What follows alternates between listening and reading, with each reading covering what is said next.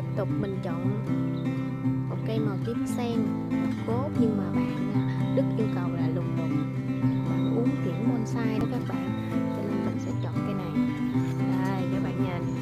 Màu tím sen, lá nhỏ, thân màu cốt luôn.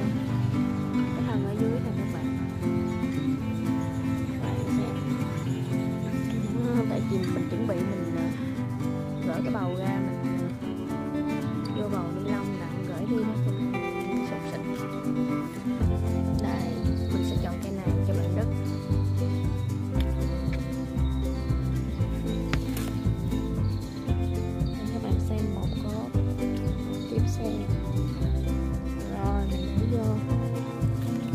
cộng này.